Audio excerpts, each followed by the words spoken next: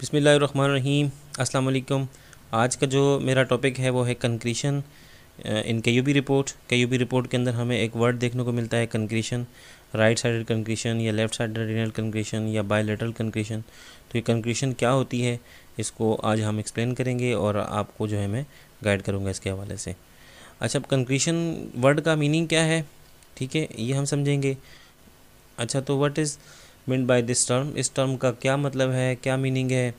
अगर आप पहले से जानते हैं तो कमेंट में जो है एक्सप्लेन कर दें। और अगर आपने मेरी वीडियो देखने के बाद आपने सीखा है तो भी मुझे बताएँ कि आपने मेरी वीडियो देखने के बाद कंक्रीशन के हवाले से जाना है। पहले आप कंफ्यूज थे। और मैं इसकी आज रियलिटी जो है आपको बताऊँगा। इस टर्म की क्या रियलिटी है? है क्या बेसिकली ये टर्म अच्छा डिक्शनरी मीनिंग क्या है इसकी? सबसे पहले तो इस पर बात करते हैं। तो जो डिक्शनरी मीनिंग है, वो है स्मॉल सॉलिड पार्टिकल्स। यानी कि छोटे छोटे पार्टिकल्स जो होते हैं सॉलिड, जैसे ये छोटे छोटे पत्थर पड़े हुए हैं, जिसको हम उर्दू में कंक्रीट कहते हैं। तो ये कंक्रीट जो है ना इसका मतलब होता है कंक्रीशन कंक्रीशन की मीनिंग होती है कंक्रीट तो अब ये ये छोटे छोटे पत्थर हैं, और देखें, ये तो वैसे आम रूटीन में हमारे लिए कंक्रीट हो गए हैं ना। छोटे पत्थर हो गए। अगर इस तरह के पत्थर छोटे हमारे किडनी में होंगे तो आप ख़ुद सोच सकते हैं कि हमारे किडनी को कितना नुकसान हो सकता है, क्योंकि हमारा किडनी बहुत छोटा सा ऑर्गन है और वहाँ तो अगर जो है दो से तीन मिलीमीटर का स्टोन भी होगा तो वो भी हमें नुकसान देगा। तो अब क्या लिंक क्या है कंक्रीशन का हमारे किडनी के साथ या वाकई स्टोन होते हैं, जिसको डॉक्टर कंक्रीशन कहते हैं या लिखते हैं? तो हमने बहुत सारी जो है पेशेंट्स की रिपोर्ट में देखा होगा वर्ड कंक्रीशन का स्पेशली इन पाकिस्तान लेकिन इंटरनेशनली कोई भी ऐसी चीज़ नहीं है जिसको हम रिनल कंक्रीशन कहते हों। अच्छा जो रिनल कंक्रीशन है ना, ये, जो यूरोलॉजिकल टर्म है, जो यूरोलॉजिस्ट हैं, वो इस्तेमाल करते हैं इसको और क्लिनिकली इस्तेमाल करते हैं। तो अगर तो आप, मैं आज आपको इस वीडियो में बताऊँगा, अगर आप एक फ़िज़िशियन है तो आपने क्या करना है? और अगर आप पेशेंट हैं और आपकी रिपोर्ट में कंक्रीशन आई है तो आपने क्या करना है? तो क्यों अच्छा सबसे पहले तो ये डिस्कस कर लेते हैं, क्यों जो है वो डॉक्टर्स जो हैं सोनोलॉजिस्ट जो हैं, वो इस्तेमाल करते हैं कंक्रीशन का वर्ड तो यहाँ पर मैं आपको उसकी रियलिटी बताता हूँ कि जो कंक्रीशन का वर्ड है, वो डॉक्टर इस्तेमाल करते हैं जिनको अल्ट्रासाउंड अच्छे तरीके से करना नहीं आता, जो कंफ्यूज होते हैं जिनको चीज़ों का पता नहीं होता और जिनको चीज़ें कंफर्म नहीं होती तो वो कंक्रीशन का वर्ड इस्तेमाल करते हैं। पीछे क्या फ़िलासफ़ी है उनकी? जब मैंने सीनियर्स लोगों से जानने की कोशिश की जो आ, हमारे जो सीनियर हैं वो जब अल्ट्रासाउंड की रिपोर्ट में कंक्रीशन लिखते हैं तो जब मैंने उनसे बात की उनसे पूछा तो मुझे उन्होंने बताया कि हम कंक्रीशन इसलिए लिखते हैं अच्छा उनका मैं नाम नहीं बताऊँगा मुनासिब नहीं है कि मैं किसी का नाम जो है वो बताऊँ। तो उन्होंने मुझे बताया जी हम कंक्रीशन इसलिए लिखते हैं किडनी की रिपोर्ट में कि अगर तो जो पेशेंट है वो हमने इसको कंक्रीशन दे दी उसने जाकर कहीं अल्ट्रासाउंड और करवा लिया, या सीटी स्कैन करवा लिया उसने जाकर, या कोई दूसरी इमेजिंग मोडेलिटी से उसने ख़ुद को चेक करवा लिया तो अगर वो नॉर्मल आता है पेशेंट नॉर्मल होता है और वो बिलफर्स हमारे पास वापस आ जाता है और हमें आके कहते हैं, जी, आपने कंक्रीशन दी थी, मैं तो नॉर्मल हूँ। तो हम उसको गाइड करते हैं, जी, जो कंक्रीशन होती है, वो पानी पीने से निकल जाती है। तो इसलिए उस वक्त थी जब हमने किया था, अब नहीं है। अगर तो पेशेंट वापस आता है और वो आकर ये कहता है कि जी मैं आपने कंक्रीशन दी थी, मेरे तो किडनी में स्टोन है। तो वो साहब फरमा रहे थे कि हम फिर उनको एक्सप्लेन करते हैं कि वो जो कंक्रीशन थी ना, वो अलग अलग छोटी छोटी बजरी थी। अब वो इकट्ठी होकर स्टोन बन गई है तो इसलिए अब ये स्टोन है। तो मतलब ये उनकी ये फ़िलासफ़ी थी कि हम बस पहलाने के लिए पेशेंट को, हम घुमाने फिराने के लिए पेशेंट को कंक्रीशन का वर्ड इस्तेमाल करते हैं। एक बहुत सीनियर डॉक्टर हैं वो हमारे। अल्लाह ताला उनको खुश रखे। अच्छा अब हम करें क्या?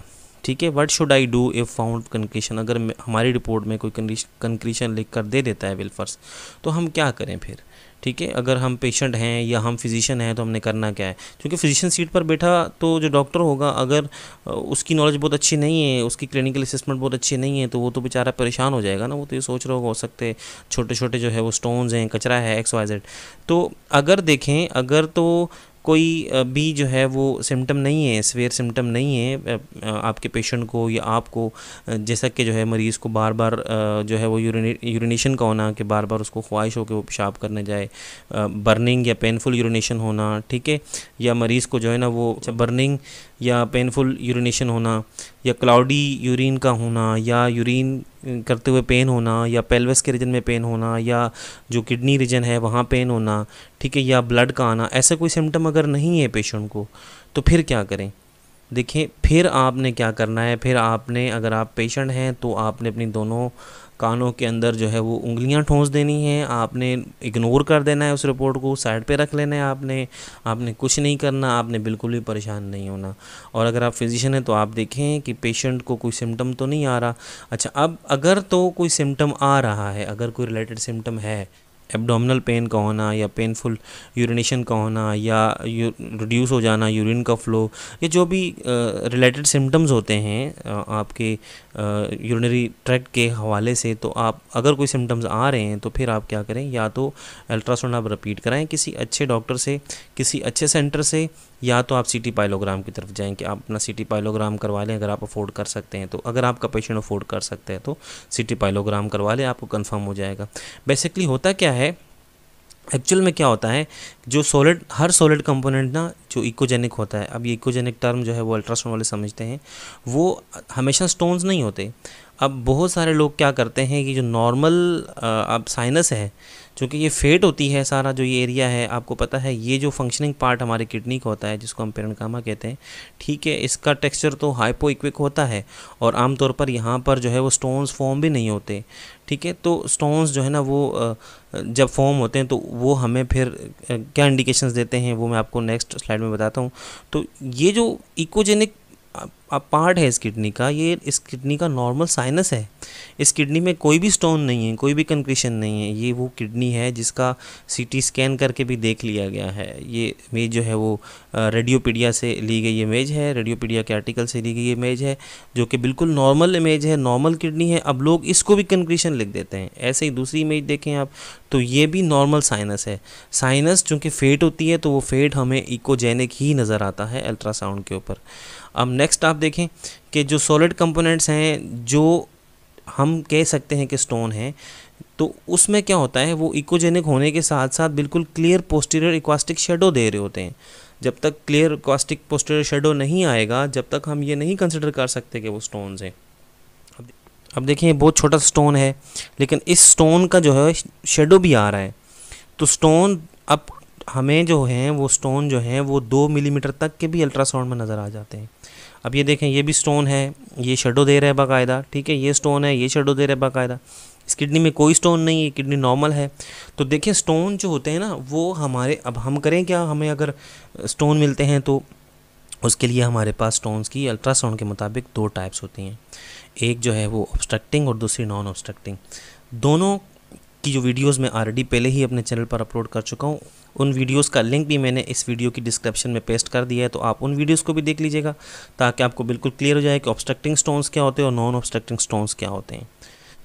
आप और अगर आपको इस वीडियो के हवाले से कुछ पूछना हो तो आप बिल्कुल मुझे कमेंट सेक्शन में कमेंट करके पूछ सकते हैं। इसके अलावा भी आप क्या देखना चाहते हैं, आप क्या जानना चाहते हैं, आप आप किस रिपोर्ट को समझना चाहते हैं तो मुझे कमेंट करके बता सकते हैं। और चैनल को सब्सक्राइब ज़रूर कर लें। थैंक्स फॉर वॉचिंग अल्लाह हाफिज़।